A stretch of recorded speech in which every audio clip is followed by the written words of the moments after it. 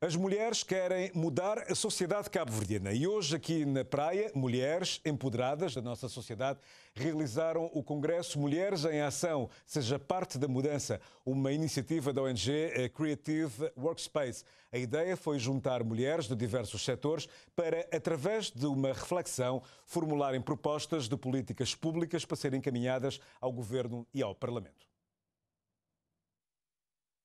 Congresso Mulheres em Ação Seja Parte da Mudança aconteceu durante este domingo na praia, juntando empreendedoras, artesãs, empresárias, artistas e diversas outras sensibilidades para juntas debaterem as diversas formas de empoderamento da mulher, não fosse o feminismo a força dos novos tempos.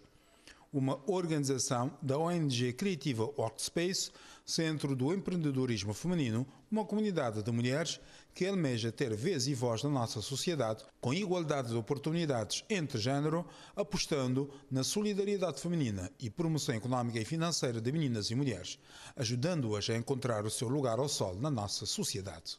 Este evento é para refletirmos sobre diversas questões que aquietam, portanto, o mundo das mulheres.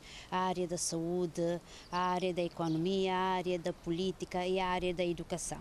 Portanto, hoje vamos reunir um conjunto de mulheres preocupadas, portanto, com o desenvolvimento sustentável de Cabo Verde, preocupadas com outras mulheres que estão em situação de risco, como sabemos, estamos num, numa pandemia, não é?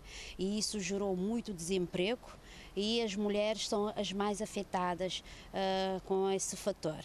Portanto, quisemos hoje trazer um conjunto de temas que são pertinentes para nós refletirmos e de posteriormente retirar daí um conjunto de propostas que podemos apresentar ao elenco governamental e Assembleia Nacional para que possam refletir em criar e criar uh, políticas públicas que resolvam essas questões para as mulheres. Uma das temáticas do Congresso foi Desafios da Mulher Contemporânea entre a Casa e o Trabalho.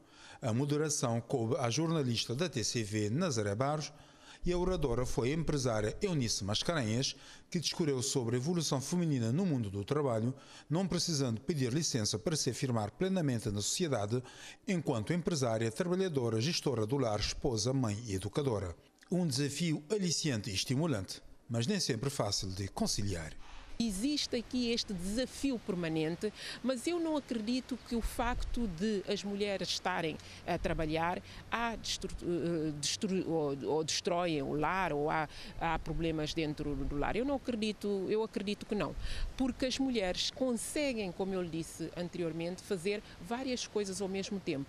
Porque uma das coisas que a mulher não, não deixa para que os outros façam é a questão da gestão do lar e a criação dos seus filhos filhos, a educação dos seus filhos.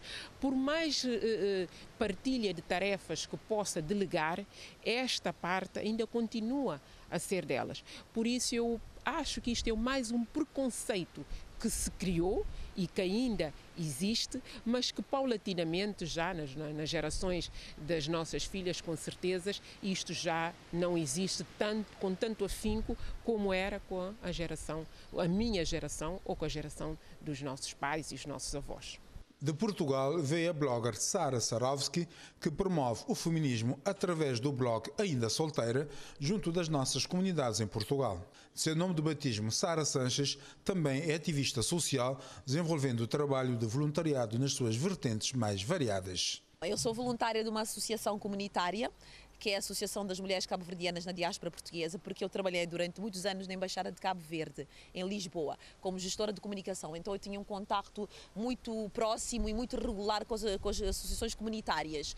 E eu, como tenho um, formação académica na área da comunicação e do marketing, e essas nossas imigrantes que vão para lá são, senhor, são pessoas que vão trabalhar, mas que têm pouca formação, sobretudo na área do, da multimédia, gestão das redes sociais, esse tipo de coisas, em que elas fazem uns trabalhos fantásticos, mas não conseguem transmitir isso. E então eu tento ajudar elas a, a divulgarem o seu trabalho. Essa associação é a associação que criou o grupo de batucadeiras que foi atuou com a Madonna. Eu passo uma mensagem às mulheres de que elas ainda há tempo para elas serem felizes da maneira como elas quiserem e também transmitir conhecimentos técnicos, ferramentas que eu vou aprender nas formações que eu faço, como empreender, como ter sucesso, como gerir a sua imagem pessoal, como gerir as redes sociais e como conseguir ter o comando da vida delas.